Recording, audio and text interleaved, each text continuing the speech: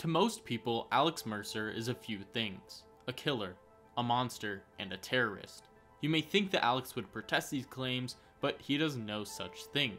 Alex knows what he is, he knows what he has done. He is the sole cause of what has become one of the greatest disasters in human history. The reason New York City has been rotting and quarantined away from the rest of the world for 18 days.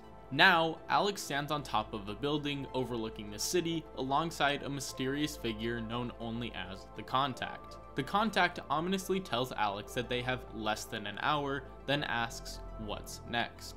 Alex states that the last person responsible for all of this dies tonight. We then jump back 18 days, where Alex is seen deceased in a morgue. This morgue is housed inside the headquarters of Gentek, a cutting edge biotech company that specializes in genetic engineering.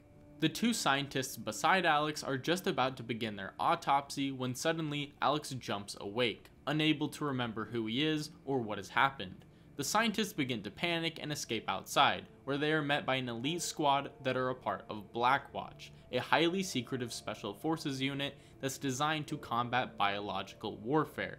These soldiers have practically no oversight and are trained to take no chances, or as they see it, no prisoners. When the scientists come into contact with Blackwatch, they are executed on the spot due to their erratic state.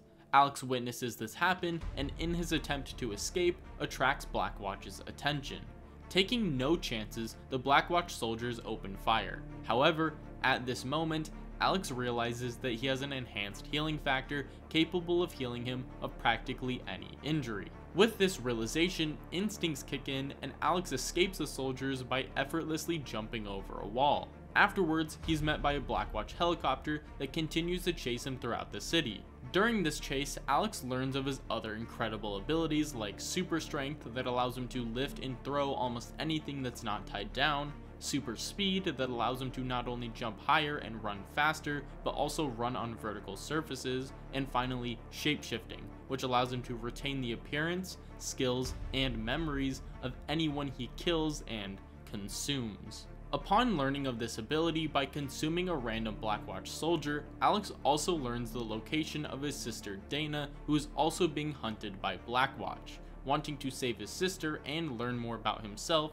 along with what has happened to him, Alex makes his way to her apartment where he saves her from a Blackwatch soldier. Afterwards, they meet up in a more secure location nearby where Dana explains that she has no idea what's happening. From her perspective, they hadn't talked for nearly half a decade until suddenly, about a month ago, Alex contacted her with an urgent request to gather information on Raymond McMullen, the director of research at Gentek. She still has no idea why or what Alex had gotten himself into. Wanting to continue this research to get some answers, Alex and Dana go to Dana's friend's apartment that Dana has turned into her own personal safe house while her friend is out of the country. Here, Dana explains that while she doesn't know why Alex wanted her to research Gentek, she does know that there's something sketchy going on, and that if it were to go public, it would be considered the story of the century. Alex wants to learn more about himself, so he asks about where he lives. Dana points him to his apartment, but warns him that the military is possibly there as well. Alex acknowledges the risk, then travels to his apartment. Here he finds evidence that he wasn't just some nobody. He had a nice place, was highly educated, and even had a girlfriend, or possibly a wife. But before he could do any extensive research, there was a sudden explosion that sent him hurtling towards the ground. It's here where Alex sees a group of Blackwatch soldiers leaving a nearby building. Wanting some answers, he chases after the men and consumes the highest ranked agent, where he gets fragments of memories of a greater conspiracy having something to do with a location in Idaho. But not being able to do much with these memories, Alex lies low while Dana does some more research into Gentek, Blackwatch, and the ensuing infection quickly spreading throughout the city. Meanwhile, at Blackwatch HQ, General Peter Randall meets with Captain Robert Cross to discuss necessary actions pertaining to the growing threat of the infection throughout the city. At first, Randall asks Cross about his men's capabilities, to which Cross explains that while capable, his men cannot simply contain the outbreak in a city this populated. Randall notes that he's no longer looking to contain the infection anymore. Instead, he has another goal. He wants Cross and his men to focus all their efforts on killing Alex Mercer. A few days later, Alex meets back up with Dana, who informs Alex that she's found someone in the Gentek database named Elizabeth Green, who she thinks is somehow connected to Alex's situation. Alex somehow recognizes her photo, but is still unsure about her significance. Dana notes that Elizabeth is being kept in a secure containment cell on the 51st floor of the Gentek building. Alex immediately heads to Gentek, disguising himself as a high-ranking officer, and enters floor 51. Here, he sees that the entirety of this floor has been rotting from the infection, all stemming from a single point, a containment cell housing Elizabeth Green. Desperately wanting answers, Alex enters the room, and upon making contact with Elizabeth, is violently knocked out of the cell. In his confused state, Alex witnesses as Elizabeth places her hand on his head, revealing mysterious images of herself, a small town in ruins, and New York that she seems to prophesize will have the same fate. She then places her hand on the wall and just by that simple action breaks it into pieces, giving her a quick way out. But before she makes her exit, she releases a few infected hunters from their incubation to keep Alex and the military distracted. After being knocked out of the building by the hunters, Alex knows that if they were to roam free, it would be absolutely devastating for the city. Thinking fast, he consumes a soldier who has more information on a warehouse that the military uses to hold all kinds of explosives. Using this information, Alex eventually neutralizes and consumes the hunters, gaining the ability to use their claws for himself.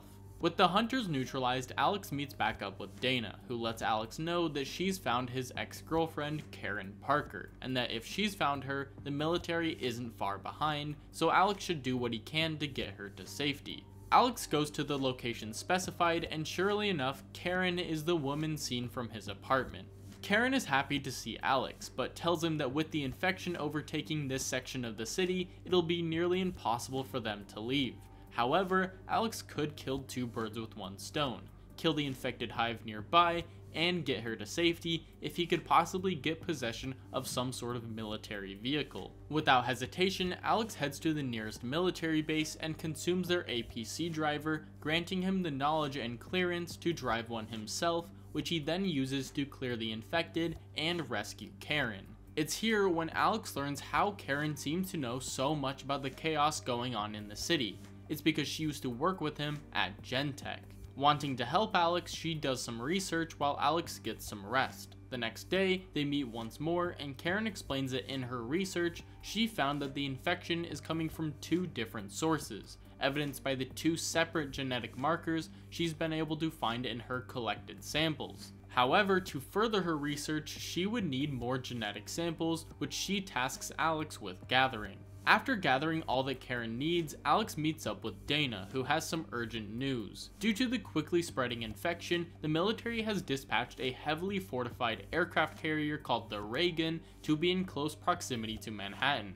Their intention is for it to house all important military supplies and personnel so they aren't at risk of the infection. With its arrival, Dana also noticed a huge spike in military activity throughout the city, more specifically, she noticed far more armored vehicles roaming the streets. While Dana is focused on that, Alex is more concerned about the fact that if all important military personnel are on that carrier, then that means McMullen, the director of research at Gentek, is closer than ever. Without hesitation, Alex immediately goes to the Blackwatch facility nearest to the carrier to get more information. However, instead of learning McMullen's location, he instead learns of a new technology that Gentek has provided the military called viral detectors. This technology takes both an aerial and stationary form, and can detect the very virus that gives Alex's powers by sampling trace amounts of it in the air. Given enough exposure, these detectors will alert the military if Alex is nearby,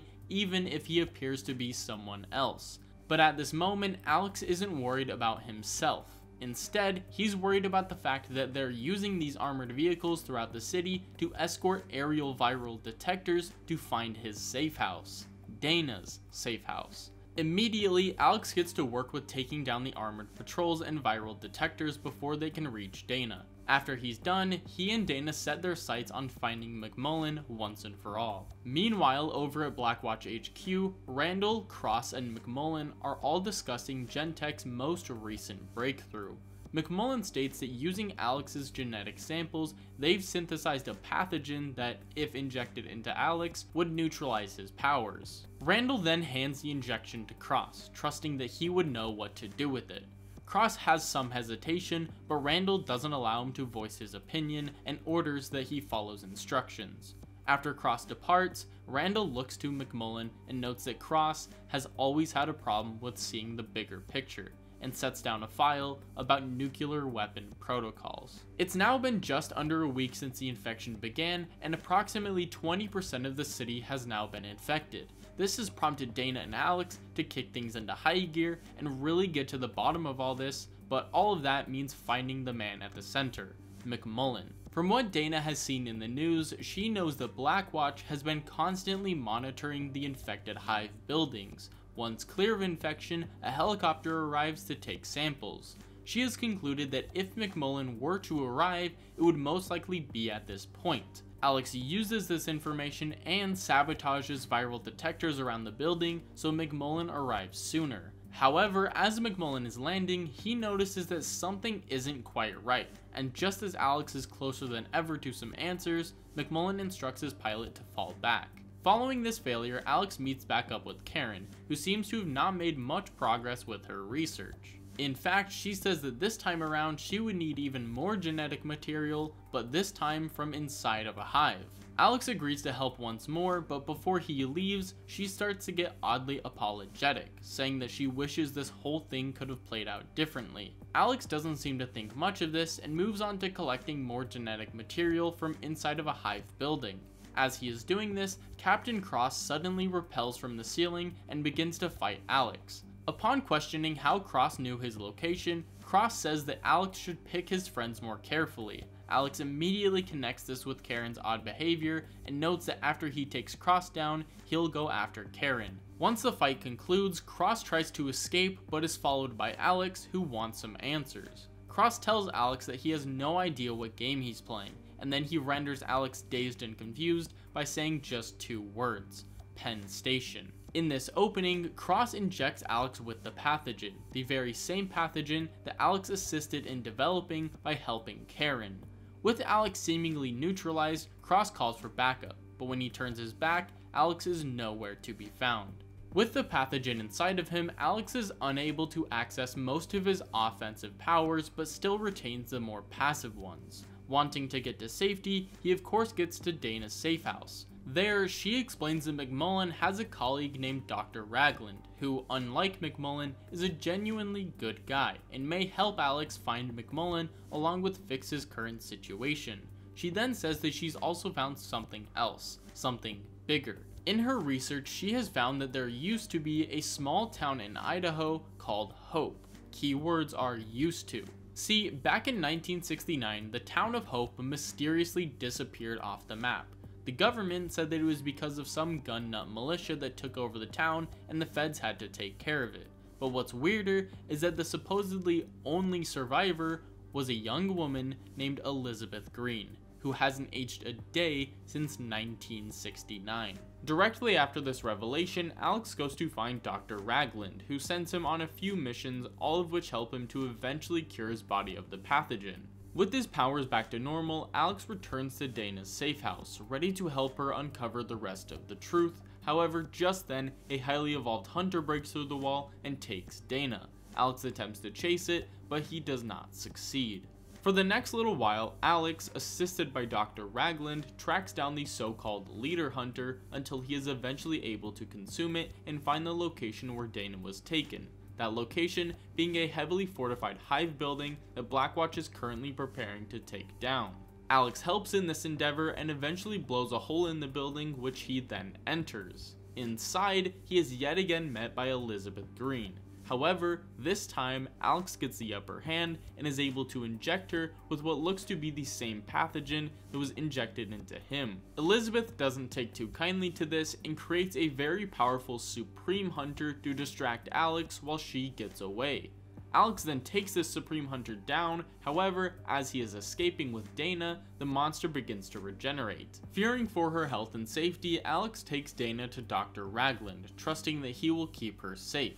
Of course, Ragland is happy to help, and just before Alex leaves, Ragland hands him a mysterious map that he says just showed up recently. The map leads Alex to a phone booth on the southeast side of Manhattan, where he finds a burner phone that connects him to someone known only as the Contact. Without explaining why, they reveal to Alex that in 1969, Blackwatch were the ones to infect the town of Hope, Idaho with something that they called red light. At first, the infection remained dormant until it eventually found its perfect host in a woman named Elizabeth Green. Once she took control, the town was quickly overrun by the infection and the government had to take immediate action by wiping the town off the map completely. Afterwards, Gentek was given a sample of the red light virus that they dubbed Blacklight. Their goal with Blacklight was to create a virus that can combine multiple genetic traits to effectively rewrite genetic code instantaneously.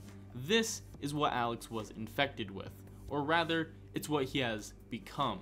See, Blacklight does not simply attach to a host. No, it consumes them. This means that Alex isn't really Alex Mercer, or at least not anymore. He's the Blacklight virus that just thinks it's Alex. The contact concludes the call by letting Alex know that, virus or not, Blackwatch is planning to destroy the city, and that Alex needs to stop it. Alex is then given a mysterious location where, once at that location, he finds it pretty clear that he's supposed to consume and then take the place of a Blackwatch pilot. After blending in with the military, Alex takes part in a secret meeting where Blackwatch discusses a new bioweapon they've developed called Blood Tox. However, this weapon isn't made for humans. Instead, it's specifically designed to combat anyone who's infected with the Blacklight virus. They end the meeting by noting that they are currently planning to release Blood citywide. But first, to demonstrate safety amongst healthy humans, they've also planned a test run in this very room.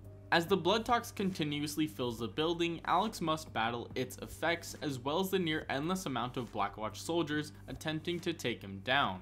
Afterwards, Alex finds and puts an end to the citywide blood tox distribution, leaving only one facility where blood tox remains. However, Alex is told by the contact to not destroy this facility. Instead, he should use the blood tox to flush out Elizabeth, who is currently residing underneath Times Square. After taking the form of a Blackwatch officer, Alex commands the blood tox to be transported to Times Square, where he protects it against the hordes of infected while blood tox is pumped below ground. Eventually, Elizabeth is flushed out from below the surface, where she and Alex have one final battle to decide who's truly the perfect host. Unsurprisingly, Alex is victorious, and with that victory, he is able to consume Elizabeth. With the blood tox supply now severely crippled, every single Blackwatch soldier is given the order to retreat back to the Reagan. Alex notices this and assumes that the retreat order could only mean one thing. Now that the clock is quite literally ticking, Alex decides that he'll do what he must to finally get McMullen.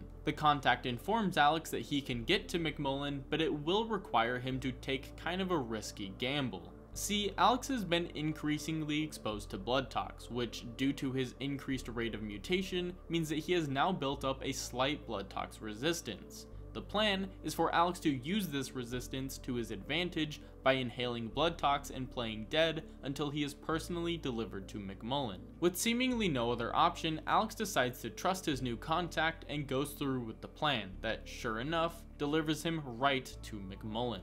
This final confrontation begins with McMullen instantly grabbing a gun as soon as he sees Alex. Like gun's gonna do anything. Alex lets McMullen know that he should start talking, because one way or another, he's gonna get the information he needs. McMullen tells Alex that he's always thought he was so smart. Smart enough that he wanted to give away all of their secrets about black light, red light, hope, all of it. Alex asks if that's why he was infected, because he just knew the truth. McMullen laughs, stating that he did not infect Alex. Alex did. He grabbed the virus on his own and used it as leverage so he couldn't be taken out for knowing the truth. That's what happened at Penn Station that day. Alex was going to tell the whole world the truth until Blackwatch caught up with him, killed him, and Alex released the virus, which then consumed him. But McMullen knows that that's not all Alex came here to learn. He wanted to know about Idaho, he wanted to learn the truth about Elizabeth. He wanted to know everything that he knows. McMullen then raises his gun and without hesitation takes his own life, along with the answers Alex so desperately wants. So I guess the gun did do something after all. With McMullen out of the picture, Alex once again meets with the contact. However, this time it's a bit different, as right when Alex is expecting the call, Captain Cross reveals himself to be the contact. He tells Alex that Randall has ordered that all Blackwatch retreat back to the Reagan and confirms Alex's suspicion that he plans to nuke the island, meaning that the only safe location would be on the Reagan itself. Alex states that there's no way to make it to the Reagan even with his abilities. However, Cross disagrees, noting that he knows someone named Colonel Taggart that Randall wants taken into custody and brought aboard the Reagan. All he has to do is take Taggart's place and they can both be safe from the blast. It's now been just over two weeks since the infection began and the city has gone to complete hell. Of the people remaining, over half carry the infection, and the rest are unaware that they're about to be turned into dust if Randall gets his way. But Alex won't let that happen. All he has to do is find Taggart, get on the Reagan, and find some way to stop the nuke. Soon enough, Cross contacts Alex, informing him that Taggart is currently at a heavily fortified military base. Alex raids the base, only for Taggart to escape in a tank headed for the Brooklyn Bridge. However, as the tank is about to leave Manhattan, Alex catches up to it and consumes Taggart. All of this means that we have finally caught up to Alex and Cross on the 18th day of the infection, right before they are about to infiltrate the Reagan. Cross asks Alex what's next, and Alex responds with, the last person responsible for all of this dies tonight. It's obvious now that Alex is referring to General Randall, the last person he has yet to get answers from. With that, Alex and Cross begin their infiltration, with Alex taking the form of Taggart and Cross taking him aboard as prisoner. Upon entering the carrier, Randall shows zero hesitation and instantly executes Taggart, effectively cutting off his final loose end. He then explains the necessity of the nuclear option to Cross, but before the nuke can be transported to Manhattan, Alex reveals himself to be Taggart, unarmed from the gunshot. Alex says that he won't let Randall nuke New York like he did Hope, and without thinking twice, consumes Randall. All of the pieces suddenly fall into place. Everything from red light to Elizabeth Green, Gentek to blacklight. It all makes sense. In the 1960s, during the height of the civil rights movement, the government created a virus known as red light that was meant to be used to target specific races. In 1969, the government tested this virus in the town of Hope, Idaho, where it quickly got out of hand. Fearing the spread of the virus and the loss of his status, the then Lieutenant Randall was ordered to wipe the town off the map entirely. This plan was mostly a success, however, there was one survivor. Well, sorta. Elizabeth Green was unlike the rest. Her body somehow accepted the virus, and at the time, she was pregnant with a child known as pariah. This child, along with Elizabeth, would be taken in by the government and studied by a brand new research organization called Gentek. Eventually, Gentek would hire a brilliant scientist named Alex Mercer. Mercer found Gentek's experiments on these so-called subjects to be wildly inhumane, and as he uncovered the truth about Hope, he began to fear for his life. Taking the Blacklight virus as collateral, Alex made his way to Penn Station, where he was killed by Blackwatch and consumed by the virus. Immediately following these revelations, Cross suddenly grabs Alex, stating that once he consumes him, he will be strong enough to survive the nuke. He then throws Alex and morphs into the Supreme Hunter, who, once thought to be dead, had consumed Cross and took his place. Afterwards, there's a final showdown between the Supreme Hunter and Alex on the runway of the Reagan. All the while, the nuke is set to detonate in just a few short minutes. After a long and tenuous fight, Alex comes out on top and wasting no time, gets into a helicopter, latches onto the nuke, and flies as far out into the ocean as he can before dropping it.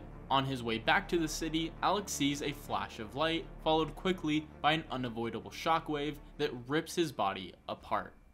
Alex would have been content to die that day, but from just a single tiny piece of the virus and an unlucky bird, Alex is reborn. Not as a human, of course, but something else. Something more. The first of his kind. A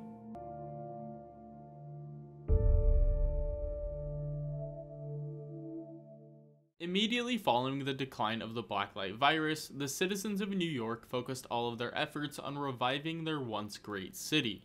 This would continue for about a year until one day the virus mysteriously returned. Wasting no time, the government would once again call upon Blackwatch to stop the spread of what would become known as the Mercer virus. Blackwatch would immediately erect a quarantine around Manhattan, but things would quickly escalate, and soon enough, the entirety of the island was nearly uninhabitable. In addition to this, the virus was continuing to creep its way outside of Manhattan and into the other boroughs. To distinguish their levels of safety, Blackwatch had renamed Manhattan the Red Zone and the other two boroughs the Yellow and Green Zone. Soon enough, it became clear that Blackwatch alone wasn't capable of containing or eradicating the virus. This situation called for some extra help in the form of the United States Marine Corps. With urgency, a troop of Marines were deployed to the Red Zone. Among these men is a man named James Heller, who has a particular interest in one thing Alex Mercer, who he blames for the death of his wife and daughter.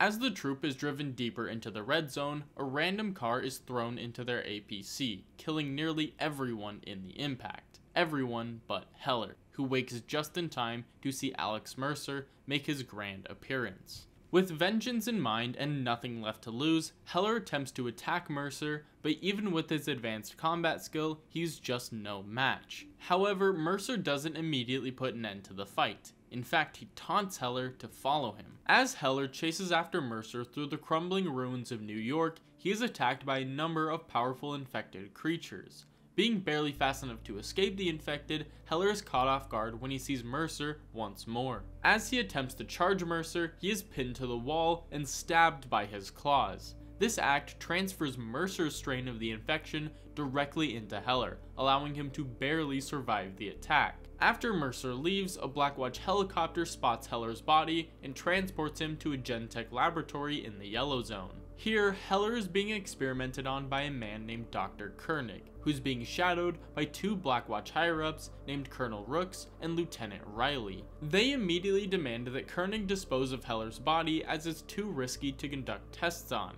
However, Koenig is not about to let this once-in-a-lifetime opportunity pass him by. He wants to know exactly what makes Heller so special. Heller is then released from captivity, where his strengths, weaknesses, and capabilities are all tested. This is when he learns of his abilities that are nearly identical to Mercer's. However, he is unique in that he has a highly durable form of the virus. As these tests quickly escalate, Heller eventually finds an opportunity to escape, where he is immediately met once again by Alex Mercer. Heller immediately questions what has happened to him, to which Mercer says that it wasn't an accident he was chosen, and it also wasn't an accident that this virus is named what it is. He then goes on to explain that this entire outbreak has simply been a way for Blackwatch and Gentek to exploit Mercer's infamy for their own experiments, a way for them to have total control but none of the blame. This means that he isn't to blame for the death of Heller's family, Blackwatch is. Heller doesn't immediately believe Mercer, but his suspicions are suppressed when Mercer guides him through the process of consuming others for their memories. Afterwards, Mercer ends the conversation by saying that with Heller's help, they can both take down Blackwatch and Gentek together. After getting some well-deserved rest, Heller begins to walk the streets of the Yellow Zone, where he eventually stumbles upon his old church. Wondering how they are doing, Heller heads inside and meets with Father Guerrera, who explains that this entire time he's done his best to keep hope alive, but Blackwatch is absolutely ruthless. This, along with what Mercer said, pushes Heller to conclude that his purpose with his newly found power is to put an end to Blackwatch and Gentek for good. He does so by pursuing the two people he knows are definitely involved, those being Dr. Koenig, the scientist who experimented on him, and Colonel Rooks, the Blackwatch soldier overseeing Koenig. After pursuing some leads, Heller finds himself in front of a brutal experiment that has Blackwatch releasing an infected brawler into an enclosed park to learn more about their behavior. Heller puts a stop to this experiment and upon consuming the brawler is granted their claws to use for himself. He then meets back up with Father Guerrera, who, after hearing about the experiments, decides it's time that he takes matters into his own hands once more. He then leads Heller down into his secret room in the church's basement. Here, he explains that he and other people used to use this room as a way to spread information and fight back against Blackwatch's tyranny during the first infection. But now, in addition to that, he's gonna use it to help Heller take Blackwatch down for good. Following this, Father Guerrera helps Heller track down and infiltrate a Gentek facility where he finds the location of a secret Blackwatch meeting being held by Colonel Rooks in a nearby Blackwatch base. Before the meeting, Heller takes the form of a Blackwatch soldier, which along with giving him access to the meeting, also gives him access to certain Blackwatch communications from now on. Heller soon arrives at the meeting, but unfortunately for him, it's not a very long one, as all the men are simply ordered to go do a field test nearby. Upon arriving at the field test, Heller sees how the civilians involved are being treated and puts an immediate stop to it. Afterwards, Heller intercepts Blackwatch communications and learns that a scientist named Dr. Sheffield is trying to escape the Yellow Zone. Heller uses this information to eventually track down and consume him, and this is when he learns that all the previous research he saw being conducted were all part of a larger plan, simply called Phase 1. Following this, Colonel Rooks contacts Heller, who he thinks is a Blackwatch soldier, and orders him to go to a Gentek research post. Once he arrives, Heller sees that they have captured and are conducting experiments on a Hydra. As Heller's proximity to the Hydra shrinks, the creature begins to get irritated and eventually breaks out of its confines. Heller quickly puts it down and at the same time takes its power. Afterwards, he intercepts a conversation between two Gentek scientists on his Blackwatch radio. In this conversation, they discuss that while the death of the Hydra was unplanned, they had fortunately gotten all they needed from it and are now ready to move on to Phase 2. Following the conversation, Father Guerrera informs Heller that he has re-established contact with an old colleague of his named Athena who resides in the Red Zone. They had informed Guerrera of a test site that Blackwatch controls that sees a lot of civilian traffic going in, but not much going out. Heller agrees to handle it and makes quick work of clearing out the entire base. Unfortunately, the feeling of accomplishment is quickly overshadowed by a single phone call, in which Father Guerrera states that Blackwatch has found his location. Heller doesn't hesitate to get back to the church where he eventually destroys multiple convoys of armored vehicles, all working to burn the church to the ground. After Heller makes sure Father Guerrera is alright, Guerrera says that for his own safety, he's chosen to move back to the Green Zone, though he's still going to continue to help Heller remotely. But on a lighter note, he says that with Athena's help, he's found the location of Dr. Koenig's lab, which Heller immediately infiltrates. Upon entering Koenig's office, Heller transforms from a Blackwatch soldier into himself. However, to Heller's surprise, Koenig is absolutely unfazed by this. He then begins to frantically ramble about how he's glad Heller is safe, and that he's being forced to work for Blackwatch against his will. Heller sees straight through this seemingly desperate attempt to spare his own life, but continues to let him speak. He does so and reveals the big project Gentek has been working on is actually a super soldier program called Project Orion. The conversation concludes with Dr. Koenig pointing Heller towards Dr. Burke, the head of Project Orion. This leads him to a Gentek facility where Heller comes into contact with some first generation super soldiers which he takes out along with the facility. This prompts a Blackwatch soldier to radio Dr. Burke, who reveals in their conversation that they still have one remaining next generation Project Orion sample held at a stadium nicknamed the Proving Grounds. Heller immediately travels to the Proving Grounds where he takes out the remaining super soldiers and eventually consumes Dr. Burke. In doing so, he learns that his initial suspicions were correct. Dr. Koenig was playing dumb to mislead Heller so he could eventually take him down. The only question now is why? Why inform him about Project Orion? Why hurt his own allies and destroy precious research just to take down Heller? The truth is soon learned once Heller rampages through the Yellow Zone, destroying countless Blackwatch vehicles along with the helicopter belonging to Dr. Koenig. This opens the opportunity for Heller to consume Koenig, which he immediately tries. However, in this moment, it's revealed that Heller wasn't the only one who Mercer shared his powers with. As Dr. Koenig reveals his disdain, the Heller was chosen as well. This is why he was so content on conducting experiments on Heller. He wanted to know what made him so special, but a different kind of special. he wanted to know why Mercer chose him. This launches them into a grueling fight that eventually concludes with Heller consuming Dr. Koenig. This is when he learns that Koenig was just a single piece of Mercer's mysterious plan in the Green Zone, and that there are more of these so-called evolved throughout the city. Following the memory dump, Heller is confronted by Alex Mercer once more. Mercer states that Heller has greatly overstepped his bounds by killing one of his evolved, especially someone as crucial to the plan as Dr. Koenig. Heller says that he should have known that there were more of them running around and asks why. Mercer reveals to Heller that his plan to take down Blackwatch and Gentek is to break them from the inside out. This has resulted in him creating dozens of Evolved, all tasked with infiltrating every step of their corporate ladders. The confrontation ends with Heller pointing out that Mercer had never once mentioned taking out the virus, which he had assumed was Mercer's reason for taking out Blackwatch and Gentek. Mercer avoids this statement and simply says that Heller needs to trust him and stay out of his way. After Mercer leaves, Heller calls Father Guerrera and tells him about the confrontation, and while Guerrera is surprised, he also says that Heller doesn't know the half of it. With that, Heller makes his way to the Green Zone to meet up with Father Guerrera so he can be told this seemingly crucial information in person. Father Guerrera begins by saying that what Heller is about to see comes from Athena's research. He then shows Heller a map of New York during the Blacklight virus and continues to say that about 15 months ago, the first virus started in Penn Station. Then, a year later, the virus somehow magically appeared again, and he'll never guess where it started Penn Station. To prove these claims, Guerrera shows Heller a video that reveals Alex Mercer spreading the infection once more. However, this time, it's completely intentional. Heller's mind begins to race, as this means that Mercer really was the one who killed his family. Guerrera stops Heller from spiraling any further by noting that if Mercer really does have dozens of evolved, then Heller is going to have to track them down. He begins by focusing on a woman named Sabrina Galloway, who he briefly remembers from Koenig's memory dump.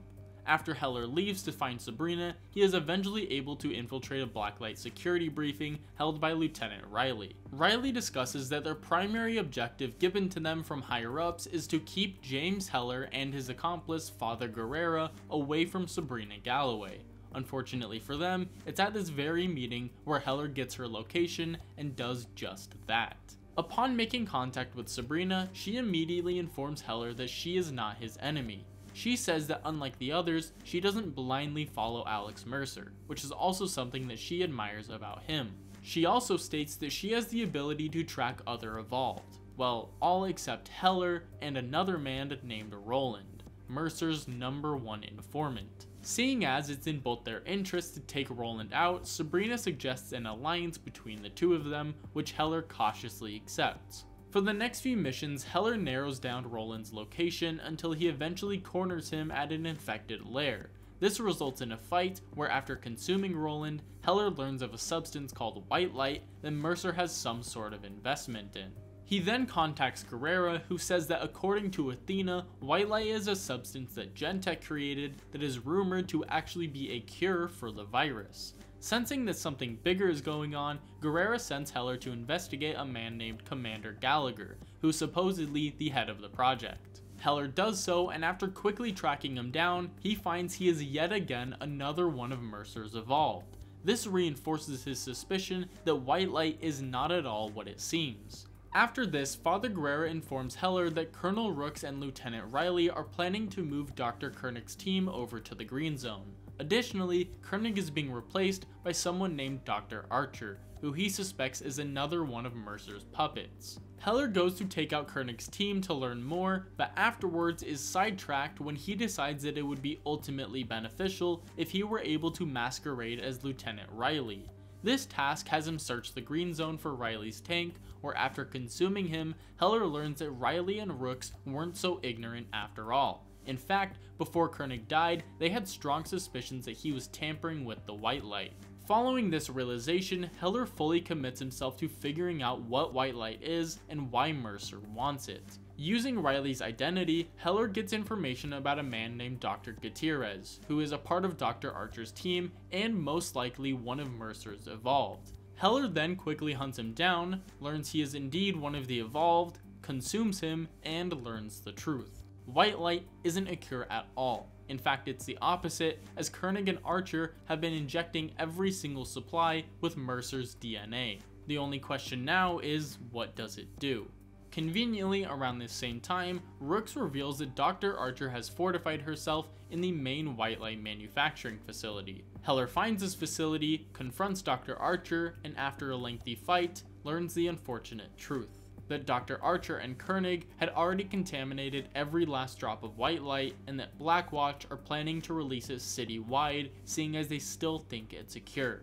Following this, Athena informs Guerrera of a shipment of white light stationed in the green zone, which Heller investigates. This is when he gets the bright idea to morph into a Blackwatch officer and command a scientist to release a small dose of white light into the surrounding air so he can just test what it does firsthand. Unsurprisingly, he finds that when someone comes into contact with white light, they turn into an evolved. After dealing with the infected soldiers, Heller travels to a white light storage depot to destroy it, but before he can do so, he is confronted by Alex Mercer. He says that Heller has disappointed him, wasted his white light, and ruined his plans. He then grabs Heller and attempts to consume him, however, through sheer willpower, Heller is able to resist and even damage Mercer in the process. This causes Mercer to retreat, but not before releasing an infected Goliath to distract Heller. After the Goliath is killed, Heller is called by Father Guerrera, who once more is in distress. Heller tells him to hold on and rushes to his location, but on arrival, it's clear that he was too late. As he is mourning his loss, the phone in Father Guerrera's pocket begins to ring. Heller answers, and the woman on the other end recognizes that Heller answering means that something has gone terribly wrong. Heller then politely asks for her name, and she says that Father Guerrera knew her as Athena, his contact in the Red Zone, but that her real name is Dana Mercer, and she has important information about Heller's daughter. Upon hearing of his daughter, Heller immediately jumps to his feet, ready to go. But before he heads off to the chaos of the Red Zone, he takes these rare moments of silence to mourn Father Guerrera for the final time. After traveling to the apocalyptic hellscape that is the Red Zone, Heller meets up with Dana, who says that while she doesn't know much about Heller's daughter, she does know that she is alive in the Red Zone. She then begins to talk about Alex, but Heller doesn't want to hear any of it. All he cares about now is saving his daughter. As he is storming out, he is stopped by Dana, who says that if the city goes to shit, then finding Amaya isn't gonna matter either way. What he needs is to focus on stopping Blackwatch and Alex, while she can look for Amaya herself. Heller thinks about the situation and reluctantly agrees. Afterwards, his first step is to, ironically, help Blackwatch to destroy the remaining white light that they have been attempting to incinerate. After doing so, Sabrina contacts Heller, informing him of a massive Blackwatch operation that could mean the end of the city. Heller investigates and finds her statements to be true. Blackwatch has a project codenamed Firehawk that is indeed meant to completely level the city. Their plan is to equip an entire fleet of helicopters with thermobaric missiles, which would then sweep the city, leaving nothing behind. But of course, Heller puts an end to this by hijacking one of the helicopters and taking out the rest of the fleet. Afterwards, Heller meets back up with Sabrina, who says that they work well together and proposes the idea that they leave all of this behind, and together, move as far away from all of this as they can. Obviously, Heller rejects this proposal, which leaves Sabrina feeling betrayed, but Heller doesn't pay any attention to this, as he only has one thing on his mind, getting his daughter back. Following this, Colonel Rooks contacts Heller under the assumption that he's Lieutenant Riley. He says that he's found a lead on something that could help them catch Heller.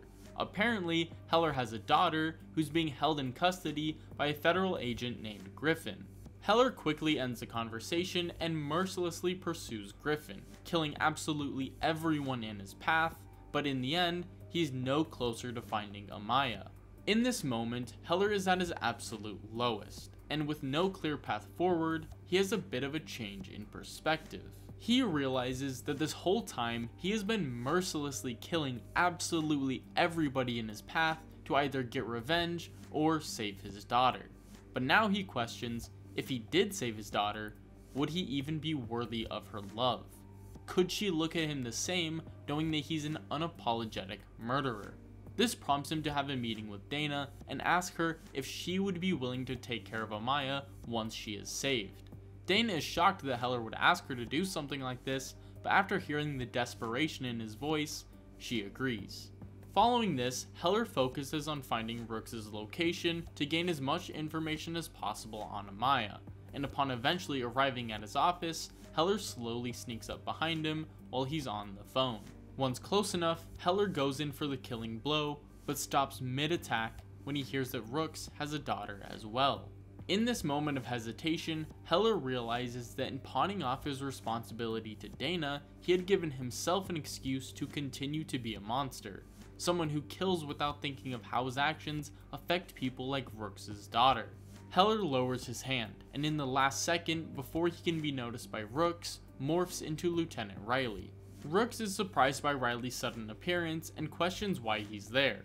Riley says that he's gonna go after someone named Dr. Carson, a scientist that Griffin used to work with to try to find Amaya before Heller. He then quickly leaves, but not without making Rooks suspicious of the interaction. Afterwards, Heller quickly infiltrates a military base and consumes Dr. Carson. This reveals that not only was Mercer involved with Amaya's kidnapping, but that he also has other plans for her because she and Heller share the same resistant DNA. Directly following this memory dump, Rooks contacts Riley saying that he has found important information about Amaya and they should meet up. However, when Heller arrives, Rooks holds him at gunpoint and accuses him of being some sort of double agent. This is when Heller reveals himself to be Riley and explains that all he cares about is saving his daughter, so if Rooks doesn't want to die, then he should stay out of his way. Afterwards, Heller goes back to talk to Dana, hoping that she had found anything on Amaya, but unfortunately, she has nothing. But just when all hope seems lost, Rooks contacts Heller to show him that he has found Amaya, and that if he wants her, he can come get her at Gentek HQ. Heller wastes no time getting to Gentek and breaking through the nearly impenetrable steel door barricading the entrance. Upon entering the building, Heller is confronted by Rooks and two other Blackwatch guards. Heller begins to explain that again, he's just here for his daughter, but before he can finish, Rooks shoots the other two guards and coldly tells Heller to get his daughter, then get the hell out of his city. When Heller eventually makes it to the heart of the building, he sees that Amaya is alive. However, she's being held hostage by Sabrina, who says that Heller should have taken her deal. She then quickly escapes the building, taking Amaya with her. Heller chases after her until he is eventually confronted by a group of Evolved, led by Alex Mercer. Heller immediately demands to know where Amaya is, saying that he'll find her one way or another. Mercer states that Heller is simple minded, still thinking like a human. He can't see the bigger picture. Mercer continues to say that he's trying to unite humanity, create a bigger, perfect world without conflict, disease, or suffering. A world where everyone is connected through one giant hive mind. Heller says that he's sick of the weird, rambling shit and demands to know Amaya's location for the final time. Mercer tells Heller not to worry, that Amaya is part of the plan as well. Seeing as how they share the same resistant DNA, it would be stupid not to use her. He assures Heller that once she is ready, Amaya will become greater than ever, as she will be the mother of the new world. But now, the only thing standing between him and that goal is Heller himself. Without hesitation, Mercer raises his arms and consumes every last evolved around him, including Sabrina, before directing his focus to James Heller. As their fight ensues, Mercer's initial overconfidence quickly fades, but it's not until the very end, when he is left broken and helpless, that he accepts his fate. Upon consuming Alex Mercer and becoming the most powerful person in the world, James Heller instantly, without a second of hesitation, uses his newfound power to cleanse the city of infection. Once that's out of the way, he goes to find his daughter, who is safe from harm thanks to Dana, but also scared of what her father has become. As the sun begins to rise, a brighter future comes into view for the millions of lives that Alex Mercer ruined. But for Heller, his world would always be dark without his daughter. Luckily, all she needed was some time to realize what her dad had truly done for her, or maybe more importantly, what he didn't do for her. Because while Alex Mercer thought that he could save the world by ending humanity, James Heller proved that he could save his by embracing it.